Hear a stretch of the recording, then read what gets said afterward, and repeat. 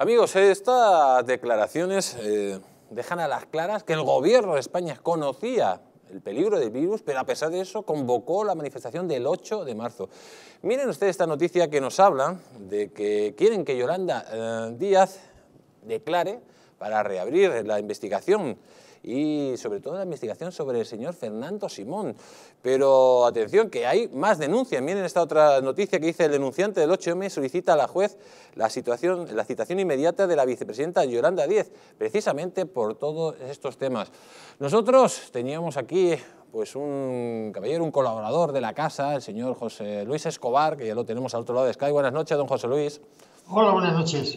Además que usted lideró, usted y su despacho de abogados lideraron esa querella colectiva contra Fernando Simón precisamente por esa negligencia que cometieron el 8 de marzo de no cerrar todo a tiempo, aun sabiendo de la peligrosidad del virus. Sí, contra Fernando Simón y contra el delegado del gobierno en Madrid, contra el señor Franco. Mira, yo aquí me, me haría la siguiente pregunta, para saber dónde estamos. Eh, en, el supuesto de que el gobierno supiera que se estaba produciendo una pandemia antes del, 8 de marzo de 2020 y que se estaba incrementando el número de fallecimientos y que hubiera sido avisado por, diferentes centros internacionales como la OMS o el Centro de, Seguimiento de Enfermedades de Europa, si todo eso se hubiera demostrado ante un juzgado, ¿es posible que con la legislación española se hubiera procedido contra los responsables? Esta es la pregunta que, habría que hacerse. Mira, si, nosotros dijimos en el tribunal que el 30 de enero, y quedó perfectamente, constancia perfecta, ¿eh? que el 30 de enero de 2020 la OMS declaró la emergencia eh, sanitaria internacional. Esto es muy importante porque el término pandemia no existe en el Reglamento Sanitario Internacional, existe el, emergencia de salud pública, de importancia internacional. Y es importante porque a partir de ese momento la OMS coge las riendas de la de la pandemia o de la, emergencia sanitaria y obliga a los países a cumplir una serie de determinadas normas. Bien, esto ocurrió el 30 de enero, dos meses antes del, 8M.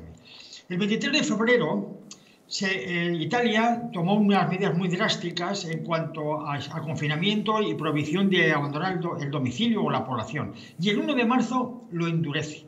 El 24 de febrero, dos comisarios europeos comunicaron a todos los países, entre ellos a España, el deber de los estados de prepararse y adquirir material de protección. No puedo enfatizar lo suficiente, decía uno de los comisarios europeos, Kirikades.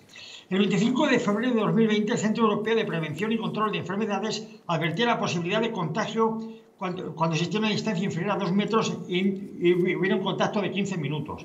El 26 de febrero, el Centro Europeo para Prevención y Control de Enfermedades advierte de que Europa tenga, va a tener los mismos desarrollos similares que obtuvo Italia. El 3 de marzo, el Centro Europeo de Prevención y Control de Enfermedades urgió a que el público conociera la seriedad de la pandemia y la importancia del aislamiento social. El cierre de guarderías y escuelas y medidas laborales y, medidas también sobre las reuniones masivas. Esto fue el 3 de marzo. El 4 de marzo de 2020, doña, Yolanda Díaz publicó una guía para la actuación en el ámbito eh, laboral en relación con el nuevo coronavirus. Y en esa, en esa guía mencionaba al Ministerio de Sanidad. Bueno, todo esto fue puesto en conocimiento de la autoridad judicial. ¿Eh? Todo, esto, todo esto se conocía y la autoridad judicial emitió, emitió una resolución en la que dejaba constancia de que, literalmente, siendo el retraso en la compra de respiradores causa directa de la muerte de quienes lo necesitaban y el retraso en la compra de material de protección causa directa del contagio del personal sanitario, de los miembros de Fuerzas Armadas, etcétera, etcétera, es decir, tomando en consideración que la, administración española sabía la importancia de la pandemia y no compraron a tiempo el material sanitario y que esto causó muertes, decía, esto puede ser constitutivo de una imprudencia grave. El delito sería imprudencia grave con resultado de muerte. Bien, sigue diciendo los tribunales españoles que este riesgo no fue creado por los querellados, es decir, que ellos no se inventaron el COVID. Dice, y suponiendo que las medidas de prevención a las que aludimos nosotros en la querella eh, eh, eh, se hubieran tomado, hay que considerar que eran restricciones muy importantes y que había que ponderar porque, había que porque estaban en juego derechos humanos. Pero decía que no se podía continuar el procesamiento contra los responsables porque ah, tienen que aparecer identificadas las personas fallecidas como consecuencia de la conducta de los querellados. Es decir, hay, aquí hay, digamos que habría dos clases, dos clases de víctimas. Una, las que provoca el virus, aun tomando las medidas, y otras, las que provoca el virus, porque no se tomaron las medidas. Como es imposible distinguirlas, los jueces españoles dijeron esto no es delito y se archiva el asunto.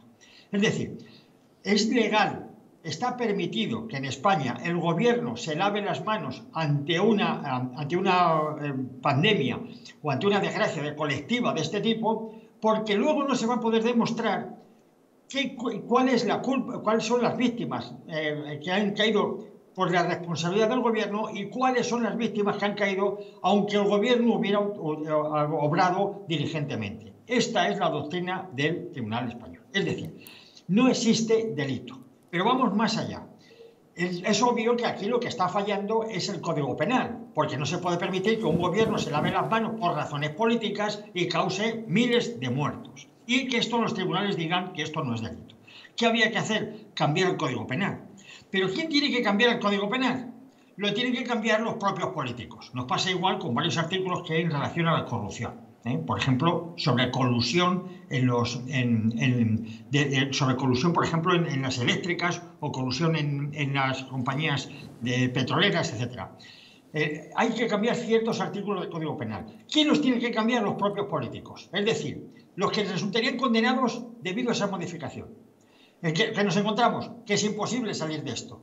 Es decir, los políticos jamás van a legislar, van a realizar una legislación en la que luego, por la que luego puedan resultar imputados y condenados. Prefieren tener una legislación como la que tenemos para que los tribunales digan que esto que han hecho no es delito.